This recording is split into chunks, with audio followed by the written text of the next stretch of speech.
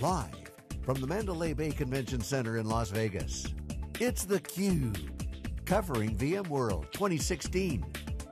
Brought to you by VMware and its ecosystem sponsors. Now here's your host, Stu Miniman.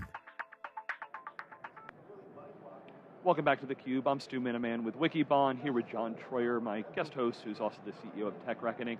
Welcoming back to the program, uh, Jim Ganthier, who's the Vice President and General Manager of uh, the Engineered Systems uh, Group at Dell, and uh, welcoming back to the program for the first time here at VMworld this year, Yanbing yes. Li, who's the SVP and General Manager in the Storage and Availability Group at VMware. Uh, and Bing, thanks so much. I, I, know you're running around this show literally to go from meeting to meeting. In high heels. Uh, in, in, in high heels, of course. It's, it's part of her Twitter handle. We would expect nothing less. Um, so uh, give us the update as to kind of the, the, the presence mm -hmm. of uh, you know, your group here and uh, you know, any announcements you can share. Absolutely. Thank you, Stu, for having us here. Uh, you know, what we're experiencing is absolutely the momentum around vSAN. So um, we're going to talk about that during my keynote uh, tomorrow, but even just on the floor, you know, I was in the hands-on lab. There is a queue around the vSAN lab. I was at the Meet the Expert, there is a queue there. So uh, certainly sensing this great momentum and customer, in, uh, customer interest around HCI in general, but specifically, you know, the uh, vSAN-powered HCI solution. So um, very excited about that. And the other aspect is, you know, VMworld is always about innovation. So how we continue to push the envelope you know, Pat outlined our vision around the cross-cloud architecture, and certainly what is going to be the role storage play in our cross-cloud uh, architecture. That's also going to be part of the theme for this conference. Yeah, it's interesting. Uh, I, I, actually did a, a, preview video for VMworld, and we were mm -hmm. joking that you yeah. know in the cloud space they're talking about you know mm -hmm. serverless, and you know right. when we talk about storage, it's like we've been talking yeah. invisible and everything like that. Maybe uh -huh. we uh-huh. should call it the storageless movement. So uh, you know, uh, storage of course critical component, -huh. but in many ways it's held back where I can, can do mm -hmm. changing it, managing it, and everything like that. Um, Jim, maybe I'll start with you. You know, how do you see, you know, the impact of these, you know, new solutions, new packages on, you know, how important storage is and kind of the changing role in IT? Highly. Well, first of all, before I start, how about a uh, congratulations on vSAN? We were looking at our joint business reviews, and let's just say that Yanbing and I are smiling in terms of how customers accepting. But to answer your points distinctly on storage, hugely important because when we think about a true converged infrastructure or converged platform, it's got to have server, storage, and networking. The fascinating thing though is that storage is no longer traditional storage. It's storage that's actually sitting on the head node of a server. And so what our teams have been doing in partnership together is figuring out how can I treat that as not only a unified whole, but do it in a way that's not only defined, and as you heard Pat talk about this morning, how can I do that with a management and orchestration layer that lets me quickly stand it up, and then if I need to reconfigure, or in some cases, send it to the cloud, which all of those assets are based on our vSAN ready products, the net is I can do that quickly, seamlessly, and I don't require an army of admins to do it. You know, uh, Stu, to, that, to add to your storage, uh, storage list point, you know, you think about hyper-convergence, it's almost like, you know, replacing previously storage, you know, with software-defined storage. So I do think that's an important step towards storage-less. Uh, but what's more importantly is to really make it zero touch as much as possible from a management, ease of use, you know, intelligence point of view. And this is definitely an area that we're innovating not only to build the best, most robust data path, give you the best performance, cost, efficiency, and everything, and really to make management as painless as possible. So I think that gets you one step closer to storage-less. And the next step of the evolution is how we take the view from storage being the data persistence layer to the data management layer. I think that's especially going to be more important for the cross-cloud era because cross-cloud, you know, you don't want to think about your storage that's deep under here. You want to think about how your data application workload is moving and being managed, being connected, being secured in this cross-cloud era. So, you know, to me, that's yet another step further to get into what you describe as storageless. Yeah, so uh, when I think back to some of the early vSAN customers, yeah. um, it wasn't a traditional storage buyer, it was usually, mm -hmm. it was a different buyer, a different admin, uh, right. different use cases. Kind of yeah. fast forward, you've got over 5,000 customers according Absolutely. to last public stuff that you say. Yeah. Where are we today kind of vis-a-vis -vis kind of traditional storage buyers mm -hmm. and the mm-hmm. applications and deployments that they're doing? Yeah, so uh, vSAN, certainly we started small, you know, with some of the more uh, fringy workload, but we're definitely uh, prime in the data center today. uh, in a recent customer survey we've done, 64% of the 250 respondents told us they're using it for business critical application. So business critical application is now by far the number one use case uh, for us.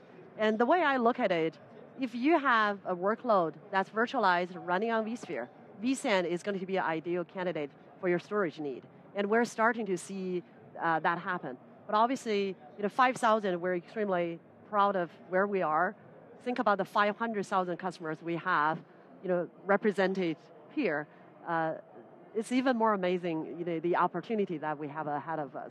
And by the way, if we look at both of our joint businesses, because obviously our teams are doing a lot around customer wins and testimonials, we're seeing a lot of success in financial services. We're seeing a lot of success in the manufacturing area. We're even starting to see some success in what I'll refer to it as civilian public sector. So again, the whole concept of how do I make it easy? How do I make it simple? How do I make sure that people who need access to the data and I want to be able to reconfigure it, that's what our two teams are able to put in place, and frankly, why uh, we've been successful so far with more to come.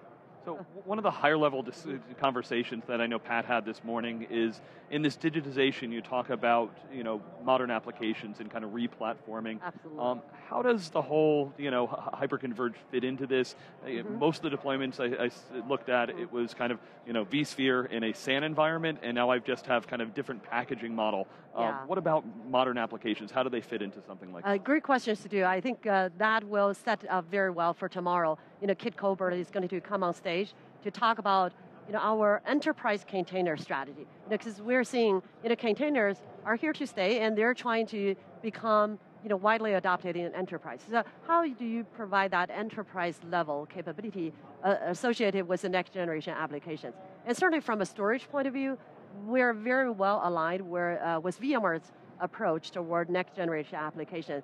You know, take a, a look at vSphere integrated container. So this is what you know, make containers seamlessly work on top of vSphere. And vSAN is already the default storage platform. You know, uh, forward looking to vSAN, uh, to the Photon platform. You know, this is providing more native container support. And we are actually working on and we'll be previewing our support for Photon, vSAN support for Photon, where you know, you get all the goodness of vSAN, all the rich data services and capabilities without the dependency on vCenter.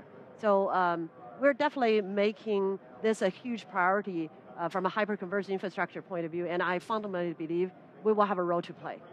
And, and by the way, um, you know, to add to Yanbing's comment, when we look at this, it really is a continuum. So case in point, vSAN is at the core of some of these, but if you add some of the capability of vSphere, and then, you know, case in point, how do I turn that into something that can quickly go deploy VMs, manage VMs, and in some cases take them back down?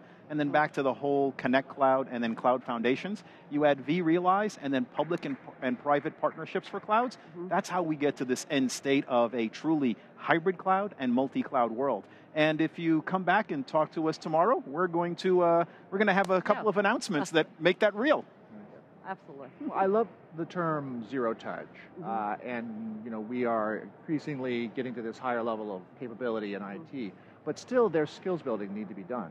And what I loved about my time at VMware was all the investment that VMware puts into uh, training of the ecosystem and enablement, yeah. uh, from uh, professional services and all the IP that they generate, and the reference architectures and the yeah. methodology and the certifications and the tech marketing and yeah. you know I can go on and on and on. How much uh, are you seeing the adoption in the ecosystem uh, driven by um, you know the mm. existing uh, enablement of the existing uh, IT yeah. admins? how is the how are how are the customers finding it? Is it mm-hmm. it seems like it's a natural evolution of what we're already doing, but yet mm-hmm. uh, there's still uh, offerings by by by the whole ecosystem. Absolutely. Yeah. Yeah, so John, clearly, you know, your time at VMware shows, uh, you know, VMware success is truly built upon our ecosystem. So from a virtual standpoint of view, we have two types of very, very important ecosystem. You know, certainly the ecosystem of hardware vendors. And we are very determined to become and we are the uh, software-defined storage solution that's most widely supported by hardware vendors. You know, we have 15 server vendors, and we're working with even more number of component uh, vendors. So really, you know, we want to make the solution available on every hardware platform. So that's one type of ecosystem. The other type of ecosystem is our vast channel. Uh, as you said, you know, uh, so even though vSAN is ridiculously simple being part of vSphere, there's still going to be knowledge and training and go to market. We won't be able to scale without the ecosystem partners. And today we have 900 channel partners already transacting uh, vSAN. And certainly, you know, looking at Jim and our up and coming uh, merger uh, um, and acquisition, you know, I'm excited that we will also be able to leverage the vast channel uh, that Dell is able to bring. And so, systems integrators. Yes, absolutely. yeah, so, so clearly, you know, um, fully leveraging ecosystem is absolutely uh, our priority. All right. Well, Yanbing and Jim, thank you so much. Uh, we, we actually put out some new research uh, on the Wikibon site about uh, where hyperconverged is, uh, is, is, in the mm-hmm. marketplace. Uh, VMware is very well positioned. Dell has many, uh, you know, plays in the, the top leadership positions. Mm-hmm. And good luck with the rest of the week. And thank you so much for watching theCUBE. Our pleasure. And look for our announcements tomorrow. Yeah. thank you, Stu. Thank you, Thanks. John.